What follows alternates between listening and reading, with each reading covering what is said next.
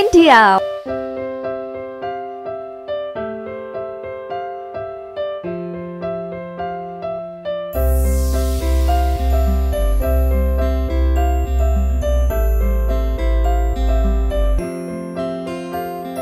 Hello, good morning, India.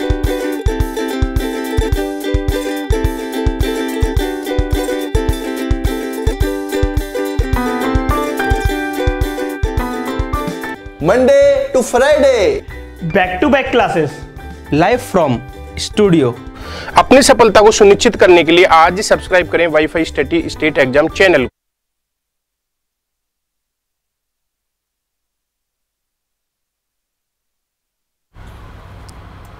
hello friends welcome to WiFi study changing the way of learning स्वागत है दोस्तों आपका India के number one study channel पर as you know WiFi study is now part of Unacademy तो good afternoon दोस्तों स्वागत है आपका एक बार फिर से. अपनी सी टेट की क्लास में, जिसमें आज फिर से हम लोग डिस्कस करने वाले हैं प्रीवियस ईयर के कुछ इंपॉर्टेंट क्वेश्चन तो कैसे हैं आप सब लोग? एक बार ज़रूर बताइएगा और स्टार्ट करते हैं अपने आज के इंपॉर्टेंट सेशन को. उससे पहले आपको इस सेशन को शेयर करना है, जिससे कि और भी लोग अपने साथ जुड़ सकें. साथ ही साथ इस सेशन को लाइक करना है. अगर आप लास्ट तक देखते हो तो एक बार लाइक ज़रूर करिएगा. ठीक है? तो मोस्ट वेलकम। ओके, कैसे हैं आप सब लोग? और आपको हमारे सेशंस कैसे लग रहे हैं? एक बार कमेंट बॉक्स में लिख के ज़रूर बताइएगा, क्योंकि आपका ये फीडबैक आपके लाइक आपका शेयर और आपका सब्सक्राइब करना, यही हमारे एसेट हैं, यही हमारी एनर्जी है और यही हमें गर्मी में ठंडक देती है। तो ये ज़रूर करिएगा, ठीक है? कुछ स्टूडेंट पूछ रहे हैं इंग्लिश का क्लास कब लगता है? इंग्लिश का क्लास किसी पेड़ पे नहीं लगता है इंग्लिश का क्लास कंटिन्यू है, ठीक है? शेयर कर दिया, बहुत अच्छा किया। तो स्टार्ट किया जाए अपने सेशन को। एक बार फटाफट शेयर कर दीजिएगा इस सेशन को और हम डिस्कस करेंगे आपके साथ कुछ इंपॉर्टेंट क्वेश्चन तो स्वागत है सभी स्टूडेंट का, जितने लोग भी मेरे साथ जुड़े हुए हैं, सब सबका स्वागत है। आपके सेशन अच्छे लगे हैं sir thank you so much Kalpana Chauhan ji thank you so much चलिए। ओके स्टार्ट करते हैं अपने आज के सेशन को और आपकी स्क्रीन पर आएगा आज का सबसे पहला क्वेश्चन और आज एक नई चीज़ आपके लिए, वो है timer your time start guys now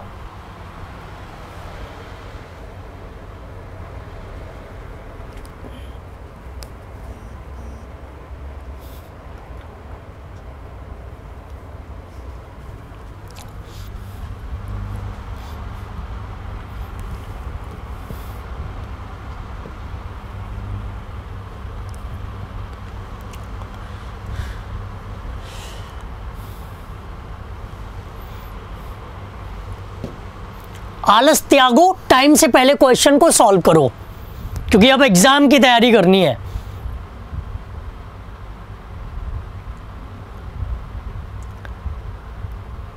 अच्छा सर को दस बार हेलो हाय दस बार नहीं, दस किलो बोलिए। हाँ जल्दी से जवाब दें इस क्वेश्चन का। और अब से आपको हर क्वेश्चन टाइम में सॉल्व करना होगा। Suppose a student lacks accuracy in task सोचो कि एक स्टूडेंट है जो एक्यूरेसी उसकी कम है किसी काम को करने में। जब वो सीख रहा है ना तो एक्यूरेसी कम है। In which stage of the learning process board, someone generally face this problem. किस स्टेज में वो इस प्रॉब्लम को फेस करता है? एक्विजिशन एक्सपर्टिशन जनरलाइजेशन या प्रोफिशिएंसी एक मेरी बात को ध्यान से सुनना कि हमने आपको कुछ लर्निंग वर्क दिया। और आपको चीज़ें याद ही नहीं रहती।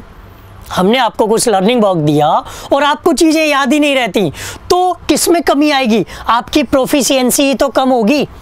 आपकी जो कुशलता है, आपकी जो एबिलिटी है, उसी में तो लैक होगी ना? उसी में तो कमी आएगी ना? तो उनको दिक्कत कहाँ आएगी? प्रोफिशिएंसी में। एक्यूजिशन नहीं। एक्सपेडिशन नहीं एक्सपेडिशन का मतलब क्या होता? निर्वासन, बाहर करना, कहीं दूर जाना। जर्नलाइजेशन आप जानते ही हो, सामान्यकरण। तो सही जवाब आपका होगा डी यार, इतना आसान क्वेश्चन था। आप इसको टिपिकल क्यों बनाने की कोशिश करते हो? सुनना। आप किसी चीज़ को याद नहीं कर पा रहे हो। आपसे चीज़ें याद नहीं होती हैं तो आपकी प्रोफिशिएंसी में कमी आएगी। आप अच्छे स्टूडेंट नहीं बन सकते। आप एक सिंसियर स्टूडेंट इंटेलिजेंट स्टूडेंट नहीं बन सकते। समझ रहे हो ना? आपको याद होगा आज से कुछ साल पहले एक बच्चे ने धूम मचा रखी थी, जिसे हम लोग कह रहे थे कौटिल्य। क्या कह रहे थे? मतलब उसको सब कुछ याद था। क्यों उसका नाम याद है? क्योंकि उसकी प्रोफिशिएंसी ज़्यादा थी, जो पढ़ता था, जो सुनता था, वो याद हो जाता था। और यहाँ पर अगर आपको याद नहीं होती है तो आप कहलाओगे सी टेट के सिंपल से स्टूडेंट समझ गए ना? कोई दिक्कत किसी को? जिसका गलत हो गया, वो नेक्स्ट क्वेश्चन पे अच्छे से परफॉर्म करना। Next question is on your screen and your time start guys now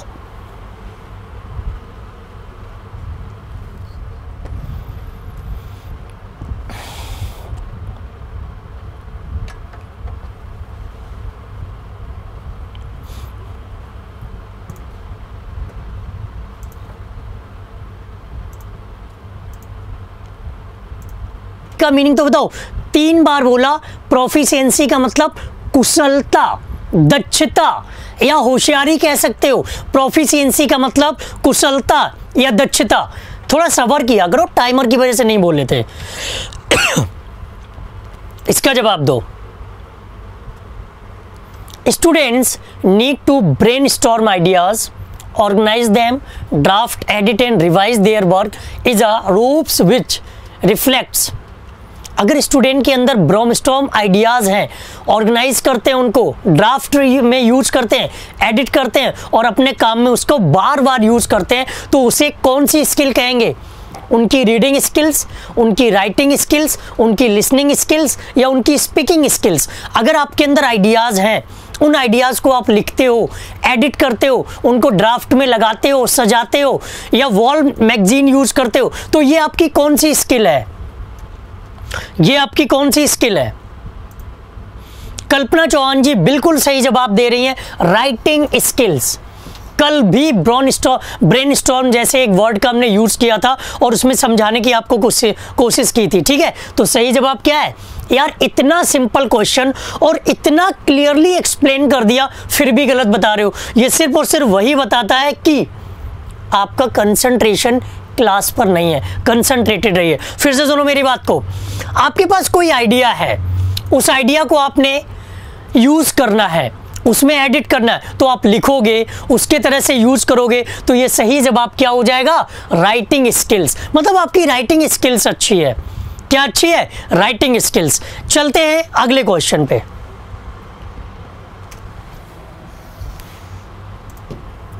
Time start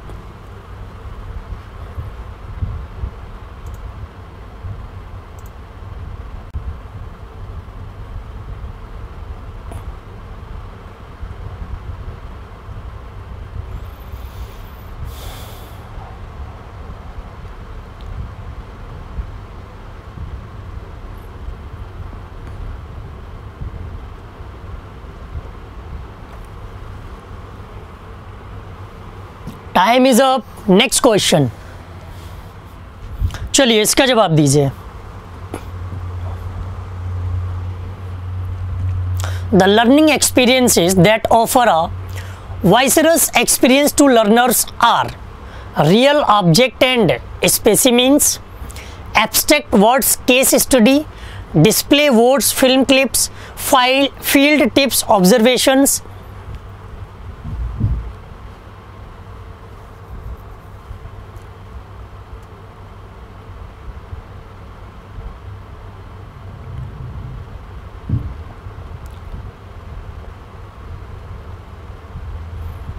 आप किसी चीज़ को अच्छे से कब सीख सकते हो? सिर्फ़ मैं बोलता चला जाऊँ, बोलता चला जाऊँ, बोलता चला जाऊँ और आपको चीज़ें बहुत सारी दे दूँ। आप सीख जाओगे? या फिर आपको ऐसे वर्ड्स दे दिए जाएँ जिनको केवल आप सुन सकें, जिनको केवल आप फील कर सकें। आप सीख जाओगे? मेरे हिसाब से तो इन दोनों तरीक़ों से आप नहीं सीखोगे। आपके पास पहले से ही चीज़ें हैं। आप उन बहुत सारी चीज़ें आपके पास ऐसी हैं, जिनकी इंग्लिश आपको नहीं पता होगी। किचन में बहुत सारे आइटम्स ऐसे होंगे, जिनकी इंग्लिश आपको नहीं पता होगी। तो क्या सारी चीज़ें आपके पास होने से आप सीख जाते हो? नहीं। क्या आपको जो फीलिंग्स है, उनके बारे में सब कुछ आप जानते हो? नहीं। सिंपल सी एक बात है कि जिस चीज़ को सिखाया जाए, बचपन में जब हम लोग ए फॉर एप्पल सीखते थे, क्यों सामने एप्पल लिखा होता था? एप्पल बना होता था। आजकल स्कूल में एप्पल दिखा के सिखाते हैं। मैं भी सुबह खा के आया हूँ। फ़िल्म क्लिप्स क्यों दिखाई जाती हैं? जिनसे आप जल्दी सीखते हो। तो सबसे बढ़िया, जो बेस्ट एक्सपीरियंस है ना लर्निंग का, वो क्या है? वो है डिस्प्ले वर्ड्स फ़िल्म और क्लिप्स ठीक है? समझ गए ना? निक्की नामा जी अगर दोबारा ऐसा कमेंट किया ब्लॉक कर दिया जाएगा। अगर आपको हिंदी चाहिए तो हिंदी की क्लास में पढ़ लो। ये यार इंग्लिश की क्लास है, इतने बड़े हो गए हो। इंग्लिश का मतलब नहीं समझते हो। इंग्लिश की क्लास में इंग्लिश होगी। क्वेश्चन को एक्सप्लेन किया जाएगा, भाई। भैया हो या दीदी, जो भी हो, समझ लीजिएगा। ठीक है? तो समझना मेरी बात को ध्यान से। क्वेश्चन को एक्सप्लेन करना है। उसकी हिंदी नहीं चाहिए होती है एग्ज़ाम में। सिलेक्शन चाहिए या आपको ट्रांसलेटर बनना है? ओके समझ में आया? तो आप चीज़ों को अच्छे से कब सीखते हो? यार एक्सप्लेन कितने और कितने इजी वे में करें हम। इससे सरल तरीके मेरे पास नहीं है एक्सप्लेन करने के समझ गए ना? जिसको नहीं समझ आया, वो करिया भैंस खरीद लें, चराए जा करके। नहीं समझ आया, भैंस खरीद लो काली वाली, और चराओ। ऐसे भी नहीं समझ आ रहा तो नहीं समझ पाओगे फिर। चले आए हो लब से आते हुए।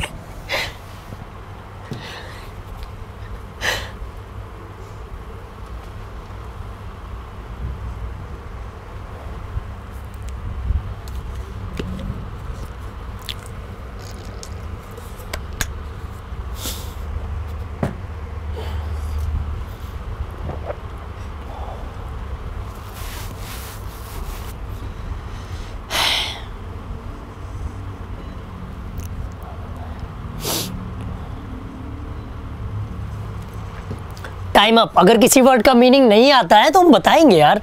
इतना परेशान क्यों होते हो?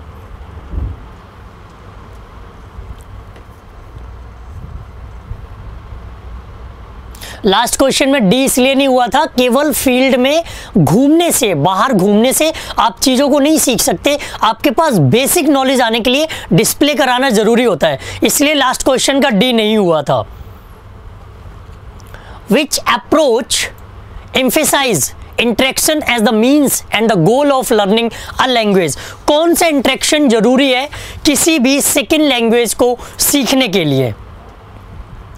ओरल ओरल मतलब मुँह से बोलो, सुनो, बस इन्हीं थी चीज़ों का इमर्जन इमर्जन का मीनिंग क्या होता है? कि अगर किसी चीज़ में डूब जाओ, खो जाओ उसी में, ठीक है? उसके बाद अगर हम बात करें साइलेंट वे, चुप रहें और उसके बाद अगला है कम्युनिकेटिव मतलब किसी चीज़ को सीखोगे कैसे? लैंग्वेज आप तभी सीख सकते हो जब आप कम्युनिकेट करोगे। क्या करोगे?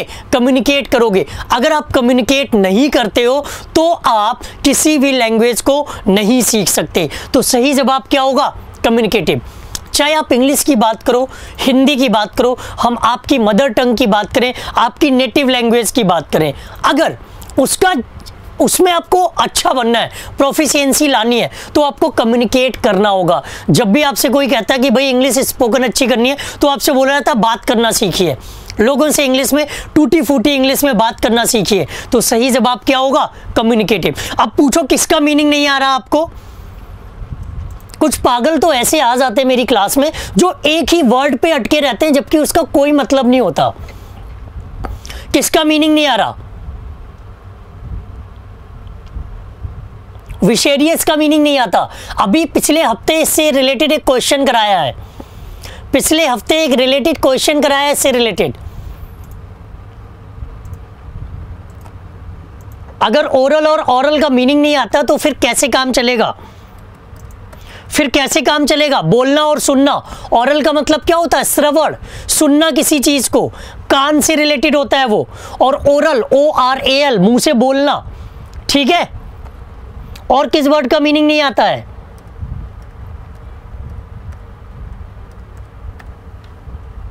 पूछ लिया करो और इतना एक ही बार में कमेंट इतने सारे मत किया करो।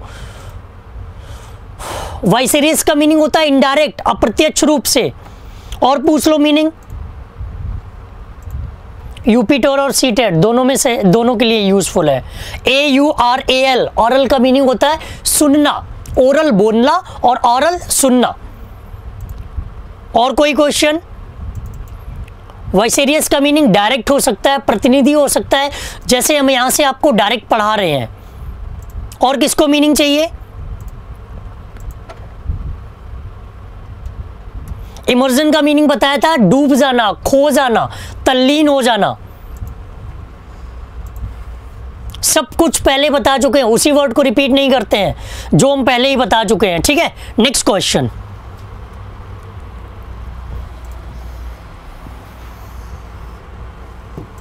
time start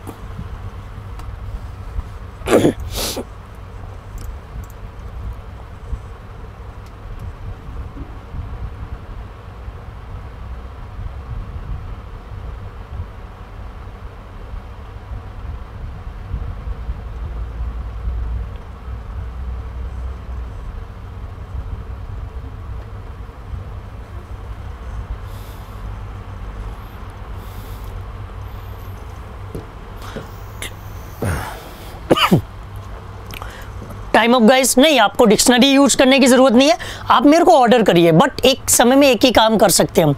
या तो हम एक्सप्लेन कर सकते हैं, या फिर हम आपको मीनिंग बता सकते हैं। इम्फेसाइज का मीनिंग होता है राहुल यादव, दबाव डालना प्रेशर डालना।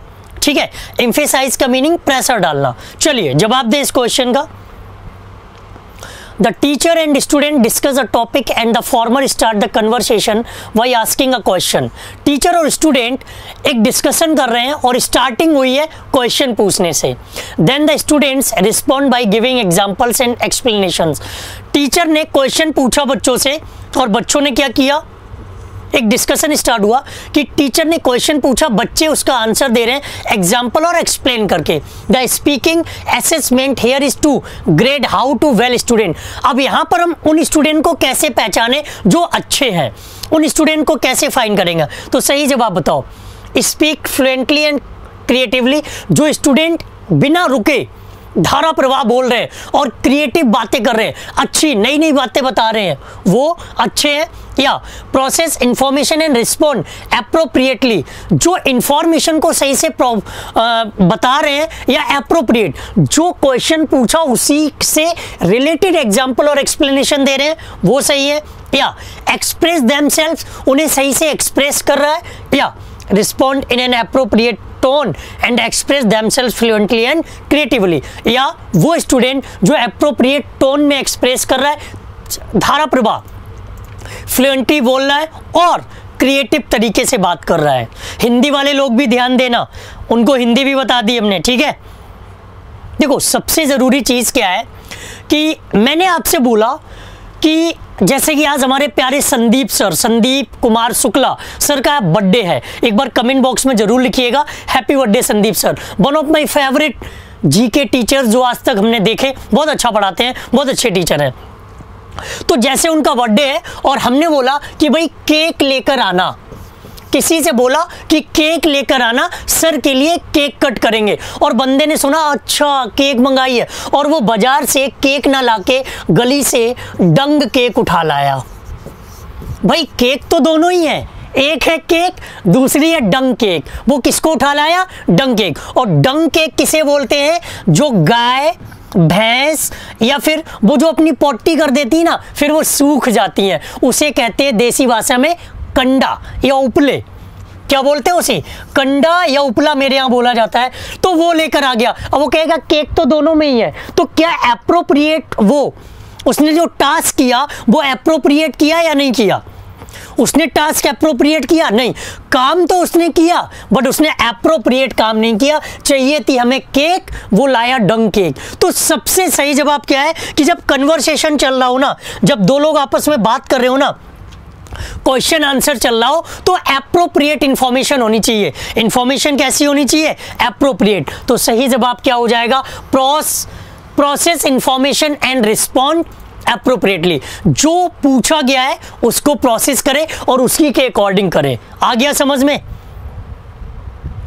अब बताओ, इस क्वेश्चन में किसी को डाउट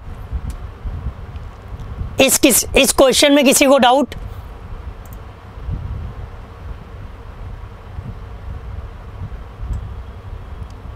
यार संदीप सर के लिए तो बोला है, इतना पेटू फूडी आदमी है, केक हो चाहे डंग केक हो।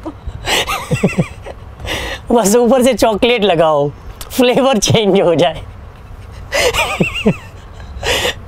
कमाल के स्टूडेंट्स हो आप लोग भी। ये क्वेश्चन समझ आ गया?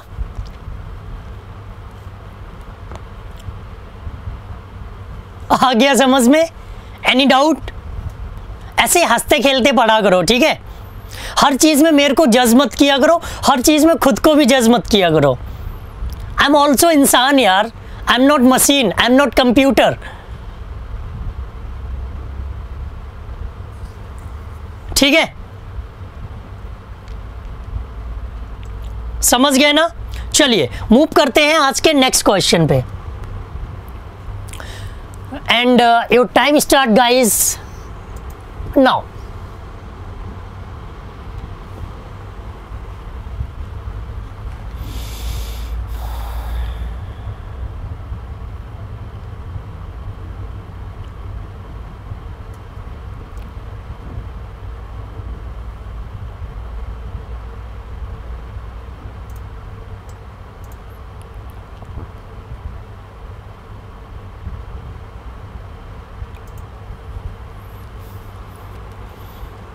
time up देखो, गुस्सा मेरे को नहीं आता। मैं सिर्फ़ एक टाइम पे एक काम करने की कोशिश करता हूँ कि जिस टाइम आपको समझा रहे हैं ना, उस टाइम सिर्फ़ समझा, समझाने पर फोकस करें। जो इंपॉर्टेंट वर्ड्स होते हैं, उनको हम फोकस करते हैं, ठीक है? हाँ मेरी मम्मी भी कहती हैं कि हम हँसते हुए बहुत अच्छे लगते हैं। The interactional routine during speaking assessment includes interactional क्या होता है कि एक तो हम एक्शन भी कर रहे हैं, दूसरा बोल भी रहे हैं।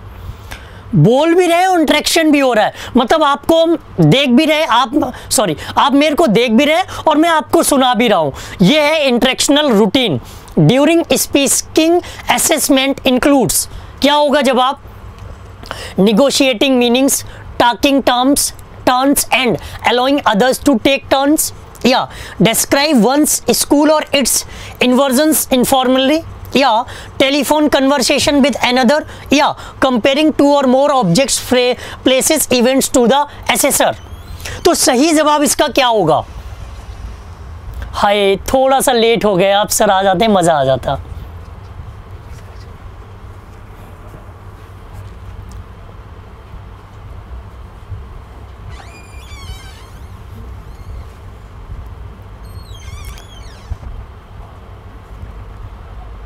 इसका जवाब जल्दी से दे दिए।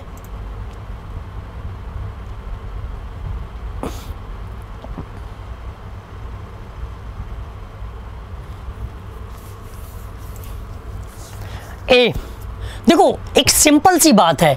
इंटरेक्शनल रूटीन क्या है? अगर मेरा किसी से इंटरेक्शन हो रहा है और मैं बोले चले जा रहा हूँ, बोले चले जा रहा हूँ, जिसे आप लोग देसी भाषा में कहते हो बग बग बग बग करे जा रहे हो, सामने वाले को मौका ही नहीं दे रहे हैं। निगोशिएट का मीनिंग होता है कम करना। निगोशिएट का मीनिंग होता है घटाना, कम करना। तो देखो negotiating meanings talking turns and allowing others to take turns मतलब अपने वर्ड्स को ऐसा रखिए कि कम से कम वर्ड्स में ज़्यादा से ज़्यादा शब्द कह सकें। लोग ऐसे ही कहते हैं, यार, ऐसा बोलना ऐसा बोलो कि कम शब्दों में बड़ा मैसेज देके चला जाओ। ठीक है? इसे तो हमने कह दिया क्या?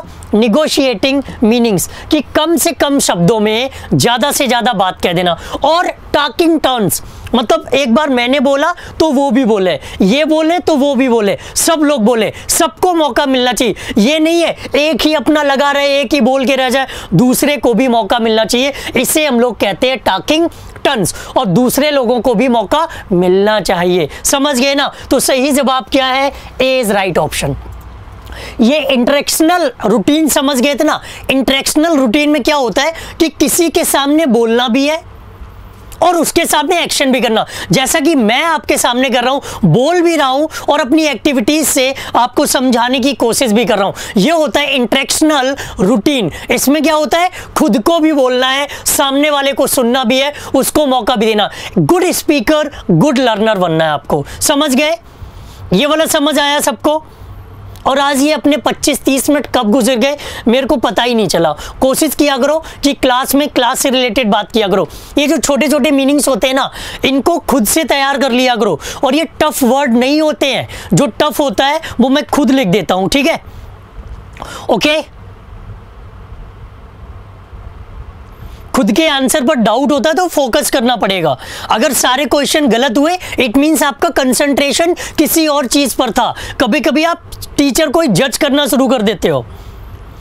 कभी कभी आप टीचर को जज करना शुरू कर देते हो तो फिर जब आप, हम आपको जज नहीं करना चाहते, जब टीचर स्टूडेंट को जज नहीं कर रहा तो स्टूडेंट भी टीचर को जज ना करे। ये ज़्यादा अच्छा होगा। ठीक है? तो आज के लिए इतना ही रखते हैं। अगर आप अपना ध्यान कहीं और ले जाने की कोशिश करोगे, मेरा ध्यान भी ले जाने की कोशिश करोगे तो उसका नुकसान ही होगा। कल क्लास में 10 क्वेश्चन हुए थे, आज क्लास में केवल आधा दर्जन क्वेश्चन हो पाए हैं। मतलब छः क्वेश्चन हो पाए तो टाइम का यूटिलाइज करना सीखिए।